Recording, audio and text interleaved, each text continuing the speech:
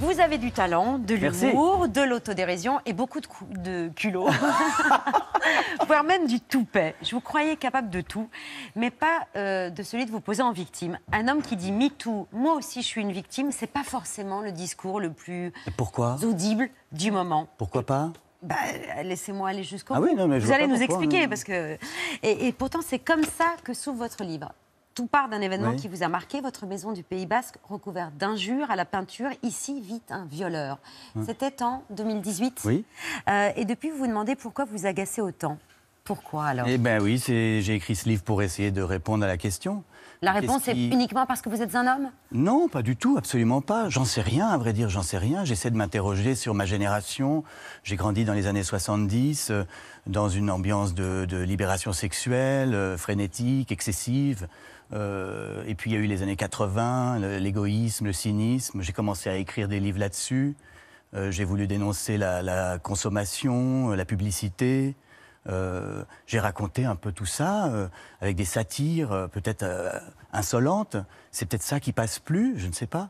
Surtout, ce qui expliquait ce tag violeur en 2018, c'est le fait que vous avez signé le manifeste des 343 salauds en faveur, enfin contre, pardon, la pénalisation des clients de la prostitution, mais peut-être aussi celui qui a dirigé le magazine Nuit ou celui qui a salué le César de Polanski. On a connu des hommes plus évidemment féministes, Frédéric. Et pourtant, je le suis. Je, suis féministe comme, euh, je pense, euh, l'immense majorité des, hommes. bien sûr. On est pour l'égalité entre les hommes et les femmes, on est pour que les femmes euh, soient payées les mêmes salaires que les hommes. C'est une évidence. On est évidemment très choqué par les violences sexuelles et sexistes. C'est tellement évident que je suis obligé de le rappeler.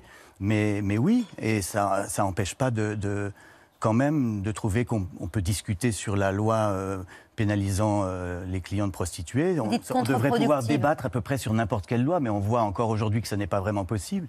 Bon, euh, cette loi, elle a été contre-productive. C'est pas moi qui le dis, c'est Médecins du Monde et c'est le syndicat mm. des travailleuses du sexe qui disent elles-mêmes que c'était, euh, ça a augmenté les dangers de ce métier. Voilà.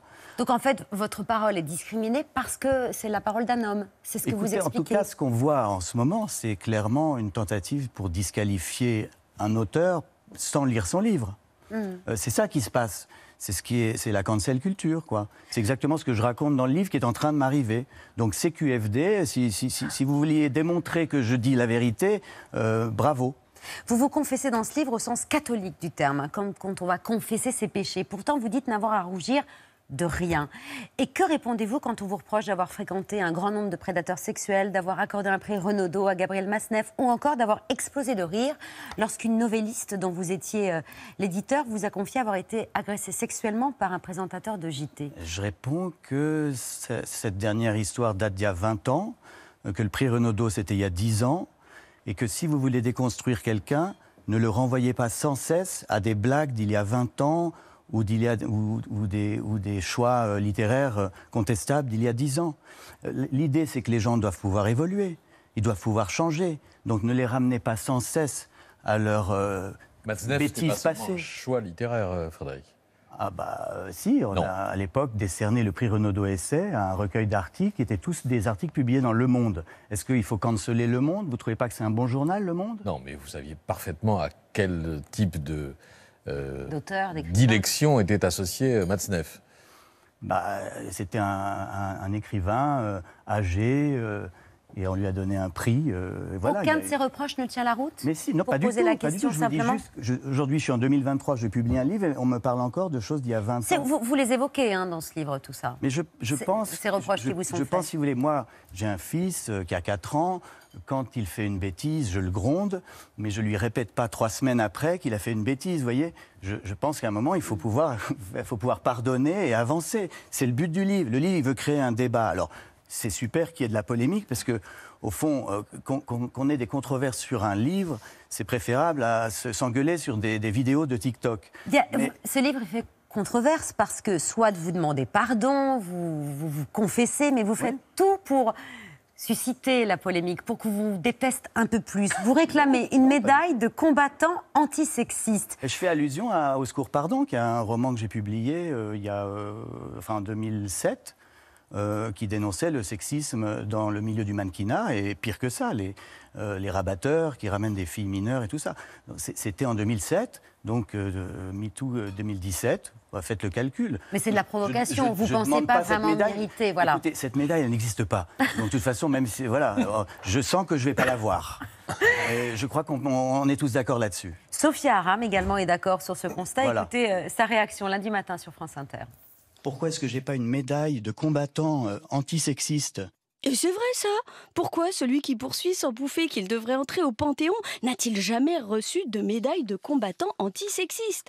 On a peut-être un début de réponse en lisant quelques commentaires sous le tweet de son interview. Par exemple, Maud Margena écrit qu'il aurait insisté très lourdement pour le faire boire et la faire boire pardon, et la ramener dans sa chambre d'hôtel à de nombreuses reprises ces dernières années malgré ses refus catégoriques. Ou bien, comme le rappelle Bénédicte Martin, alors qu'il était son éditeur, Bec BD lui aurait jeté hilar des billets de 10, 20, 50, 100 euros sur la table d'un café de Saint-Germain pour qu'elle accepte de l'embrasser. Bref, j'arrête là, mais vu le nombre de commentaires de ce mini MeToo spécial Bec BD, j'imagine que s'il y a toujours un risque pour qu'il rentre au Panthéon, quelque chose me dit que ce ne sera pas en tant que combattant antisexiste. Oui, je pense que c'est un peu, oui, c'est un peu raté.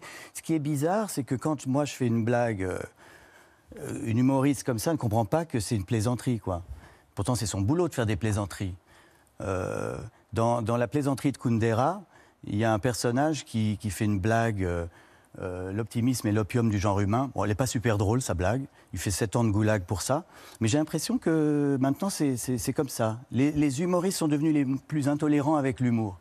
Il y a eu un déluge de réactions après. En fait, cette chronique, elle, venait après une interview que vous avez accordée à Sonia De Villers sur France Inter. Il y a eu un déluge de réactions, un déluge de Et critiques. Pourtant, le, le, livre n'était même pas, pas sorti. que des femmes qui manquaient d'humour. Non, mais ce que je pense quand même, c'est qu'il y, a une vraie cancel culture. Ça veut dire quoi? Ça veut dire qu'on a jugé ce livre sur sa couverture. Il n'était pas sorti. Il est sorti le 6 avril et tous les tweets datent d'avant la sortie.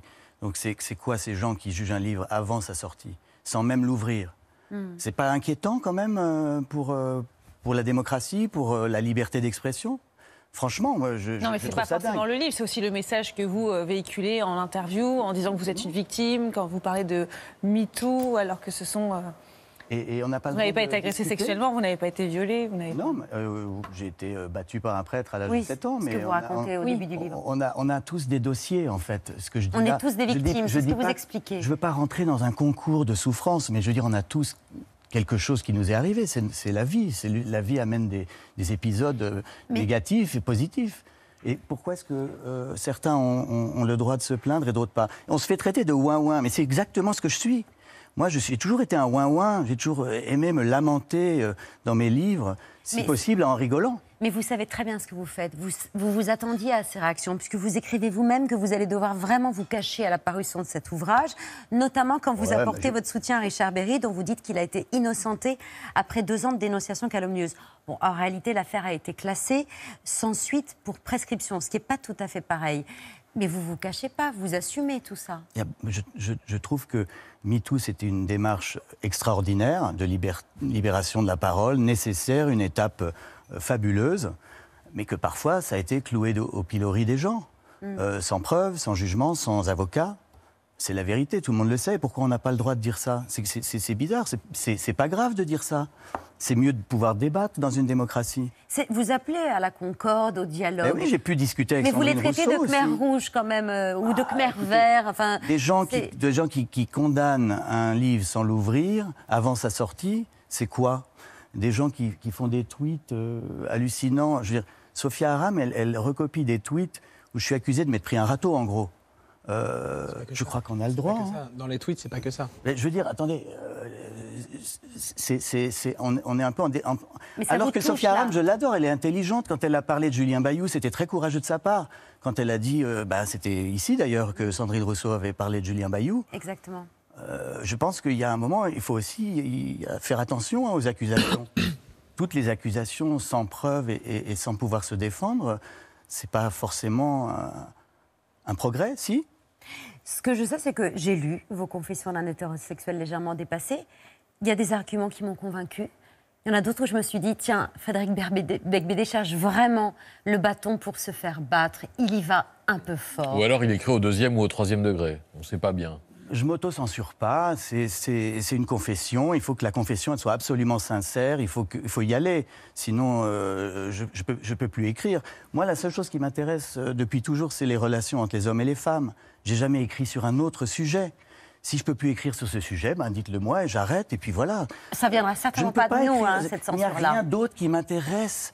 Euh, je suis un hétéro fou, de, fou des femmes et je veux écrire des livres, des histoires d'amour.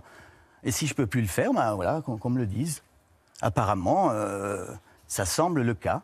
On a lu votre Pierre, livre. Euh, Pierre a peur de s'exprimer. non, non, parce que je ne l'ai pas encore lu.